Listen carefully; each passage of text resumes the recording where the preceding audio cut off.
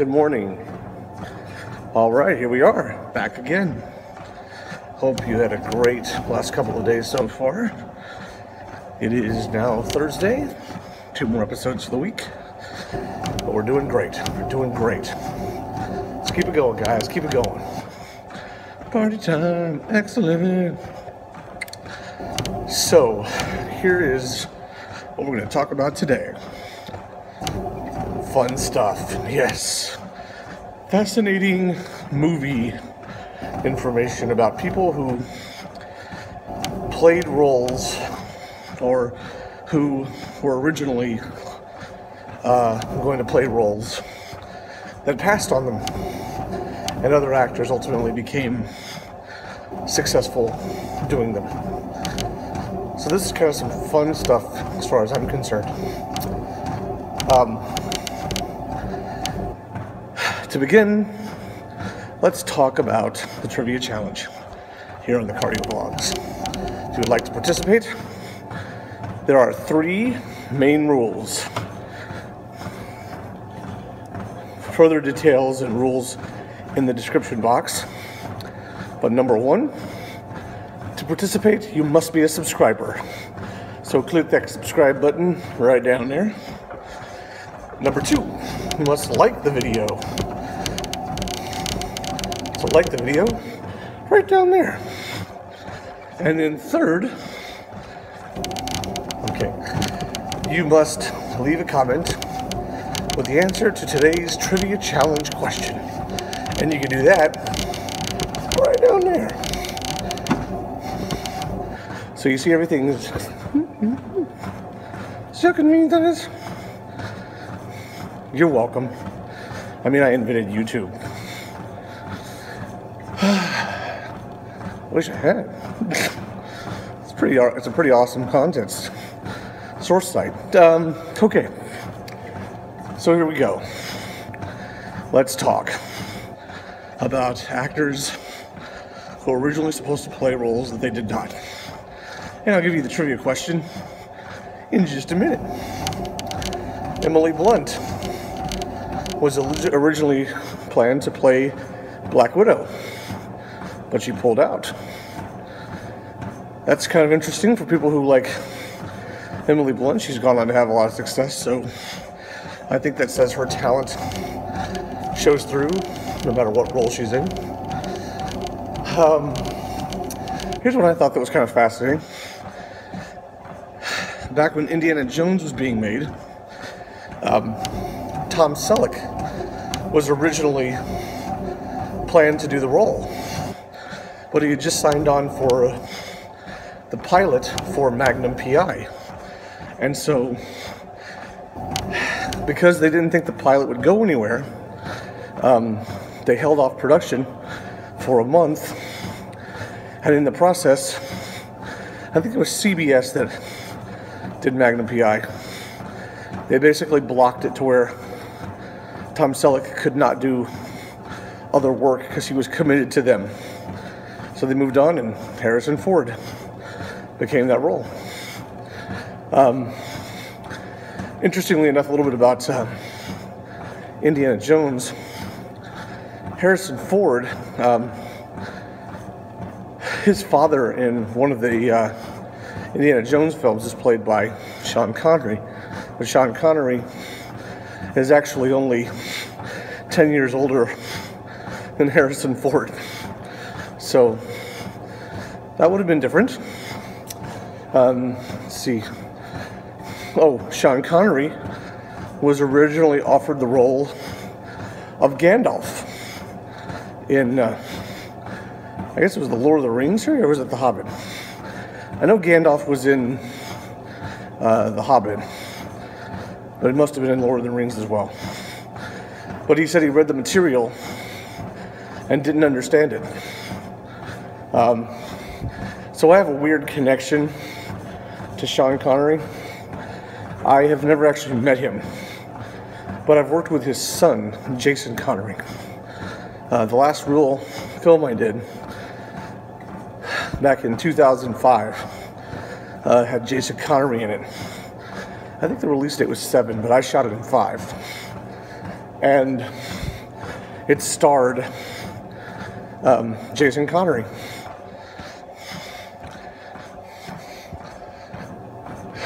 So that was pretty fun. Uh, I encountered him a couple of times, had a few brief conversations with him. Um, he was actually there when I went for the initial auditions. His the casting director's name was Ricky Anderson Masler. She's out of Los Angeles, and uh, Jason Connery was in the room with her, seeing people for the auditions. And this was first round auditions. So obviously this was an important film to him, and uh, he wanted to be a part of the casting process. And I thought it was really pretty nifty that he was there. Um, but uh, we had very brief conversations about his father, but uh, nothing, honestly, that I recall. I know he's very close to his mother, I think. But uh, it's been a long time, over 10 years now, since I had these conversations. Um, but, anyways, so Sean Connery passed on the role of Gandalf. Um, they say that whenever he played 007, he um, wore a toupee. But he's not the only actor to do that, so that's just sometimes what actors do to play a role that they think has hair. Um, he originally uh, was offered another role and turned it down because he didn't understand the material. And then the League of Extraordinary Gentlemen, he said he didn't really get it, but he wasn't about, about to pass on another film that he didn't understand when the two previous became successful. So, did you know that the Michael Myers mask is actually a William Shatner mask painted white? Yes, William Shatner, the captain of the Enterprise. Stardate 1980. I am the Michael Myers mask. I will scare the bejesus out of you. I love Priceline. I'm not sure if that shifted away from William Shatner into an odd Bill Clinton, but I love Monica Lewinsky and Priceline and Halloween. Hillary's always wearing her mask. Spooky. Anyways, uh, Donald Trump always looks like a carrot. He's got orange hair. It's like a carrot exploded on his head. He must like that carrot juice. Anyways, um, so, um, I thought that was kind of interesting. Um, Tom Hanks uh, was originally supposed to play the role of Jerry Maguire, but uh, Cameron Crowe wrote it with Tom Hanks in mind, but he was just too old for the role, ultimately, in their view, when they started doing the picture. Uh, especially probably if they connected it to um, Renee Zellweger would have looked significantly different. Even though Tom Cruise is actually, I don't think he's much younger than Tom Hanks at all. So perhaps they just thought Tom Hanks looked a little older and would not work in the dynamic. But Tom Cruise killed that role. He did a great job in that part. Um, strangely enough, I think I think I heard it already that Meg Ryan was not originally offered the role in um, Sleepless in Seattle with Tom Hanks. I want to say that it was Meryl Streep originally. That I heard it was Meryl Streep. Don't quote me on that one. But now for today's trivia question. What two actors were originally offered the roles of Neo and Morpheus in haven't seen that movie in a long time. The Matrix. Now, um, Oh, here's another one. Will Smith. Will Smith was originally offered the role uh, for Django and Cha- or Django Unchained, but he uh, apparently did not care for the role because he thought it wasn't the lead role, and so he passed on it. They said he kind of did a little bit of back and forth with Quentin Tarantino, but they never came to a place where they really agreed enough. So he moved on, and Jamie Foxx moved in, and the role was obviously the lead character. As a matter of fact, they said that um, Jamie Foxx, the horse he's riding in that movie, is actually his own personal horse uh, that he owns. So that was kind of cool. He said, I'm going to use my own horse. I feel more comfortable with him. I know I can make it work. I thought that was pretty nifty. Let's see. Um, well, Meg Ryan supposedly was originally offered the role of um, of uh, Vivian in Pretty Woman, the role that Julia Roberts played. She was originally offered the role, but uh, she passed on it. Diane Lane apparently got as far as uh, wardrobe fittings and then dropped out. And then they went to Julia Roberts. I think there may have been one or so other people after that before Julia, but Julia ended up taking the role, and obviously she and um, Richard Gere really made that role work. As a matter of fact, they said Richard Gere, and I'm remembering correctly, that Richard Gere was originally offered the role of John McClane, or put in mind for the role of John McClane in Die Hard. Um, uh, Bruce Willis was originally one of the people considered to play Sam Wheat in Ghost. Other people, Kevin Bacon, uh, Tom Cruise. Who's some of the people they said? Um, there was like five or six other people that were originally considered or offered the role before they set on Patrick Swayze. Remember? Nobody backs baby into a corner. Um, and this made me think of Chris Farley. So everybody knows uh, Chris Farley from Tommy Boy, Black Sheep, shows, movies like that. But did you know that he was originally the voice of Shrek?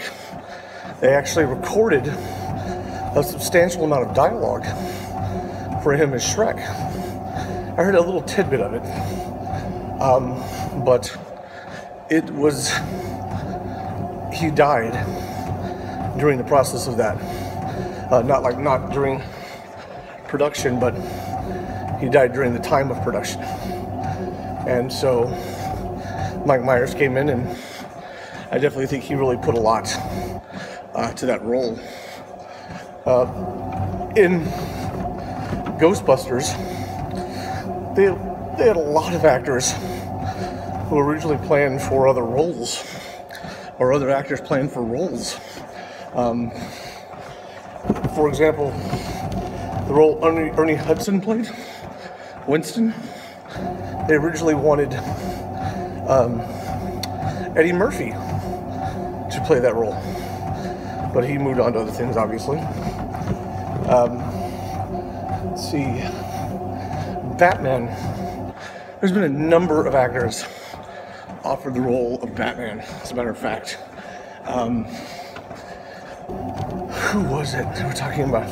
Well, I know one of them in the early days was Bill Murray. He was originally, this was back during um, Ivan Reitman's time of making um, Batman. Before the 1989 film was done, they originally had um, Bill Murray in mind to play Batman. And it was kind of interesting because when you think about it, um, that would have been sort of falling into the spirit of the 1960s series uh, with Adam West. More comical, uh, based. But I think they changed directors. Um, lost Bill Murray, and Tim Burton came in and did it, and obviously Michael Keaton filled that role. Who else they were talking about? Being up for the role of Batman. I can't remember. Um, I know there was a number of actors that were offered the role of Batman that sort of passed on it um, because they just didn't feel like they wanted to do it. Um, uh, who was they were saying? I can't remember. I think they even talked about was it Eddie Murphy? I want to say it was Eddie Murphy. They said they considered to play. No, it couldn't have been Eddie Murphy, but some other uh, young actor that was considered to play Robin in Batman Forever before uh, ultimately Chris O'Donnell took it over. Uh, in Predator, originally um, Jean Claude Van Damme was supposed to play the Predator, and uh, he thought it was going to be a, him, you know, you could see it was him playing the Predator, but they put him in a suit, and it was very hot apparently, like a red suit that they put him in, and they did, you know, special effects with it, and he just decided it wasn't worth it to him, and he bailed out of it, and they cast an actor who was I think it's almost seven feet tall to play the role. So he took over. Um, probably one of the ones that's the most interesting to me is that you know before Arnold was the Terminator, they originally planned to use O.J. Simpson. He was a big name back then. And ultimately they decided that they didn't think the juice would come across good as a as a violent person who could kill someone. So they moved away from him. um, let's see. Other ones.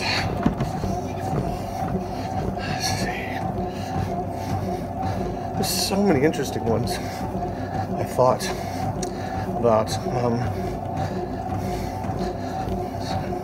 I know originally that back in the day, uh, Kevin Bacon, for example, uh, that they originally wanted Tom Cruise for Footloose, but he chose not to do it because he had done risky business and he didn't want to be, you know, sort of stuck in that pretty boy dance kind of idea. So I know he passed on that. Oh, Bill Murray, as a matter of fact. This is kind of interesting. Um, in Rain Man, when they were originally sending out the offers for Rain Man, Dustin Hoffman was um, one of the people considered. So they sent him a script and said, Are you interested in doing this movie? And he read it and came back and said, Yes, I'm interested in doing this part. I like Raymond, he seems like a real interesting character. Well, so he said he was in. Well, apparently there was a mix up when they sent him the script, and they did not tell him which character they wanted him to play. They originally wanted him to play Charlie Babbitt, the role Tom Cruise ultimately played. But the original person they wanted to play Rain Man, Raymond, was Bill Murray. But when they got Dustin Hoffman to be on board, they weren't about to make a decision and switch Bill Murray to Charlie Babbitt uh, because the movie was already turning tides in a way because of the kind of actor Dustin Hoffman is. So uh, Bill Murray was out and they found a new Charlie Babbitt. And obviously, you know who that was. Elijah Wood. No, I'm kidding. Um, today's trivia answer. The actors originally supposed to play those roles.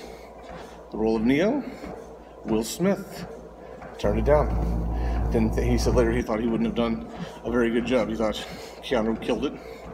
He said he thought he would have destroyed it. And Morpheus, Sean Connery. That was the second script he did not understand, and so he chose to pass on it. Those are fascinating little insights into movies. Let's see as we close down here if I can think of anything else. I know that in Chicago, uh, the movie version of the Broadway play, where Billy Flynn was played by Richard Gere, that originally, I believe they said that John Travolta was offered that role, but he uh, he passed on it. He went on to do a, a little more of an interesting role in a, a Broadway musical turned into a movie called Hairspray. He played a woman, so that was kind of an interesting choice. Um, see, who else? Is there anybody else interesting I could talk about? Um, Cruise. Um, this really isn't a character thing, but during the filming of Fight Club, um, Brad Pitt uh, chipped his tooth, and he decided that he wanted to keep it chipped because he thought it added something interesting to the character, and he decided to have it fixed later on. Let's see. Um, Meg Ryan. Let's,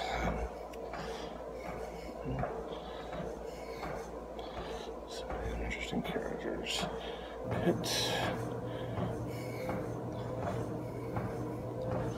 There's so many fascinating ones too. I think I went through most of the ones I've learned about so far. Um, so there was a trivia that I didn't tell you about yesterday that I think is kind of an interesting one to know about with um, regards to like uh,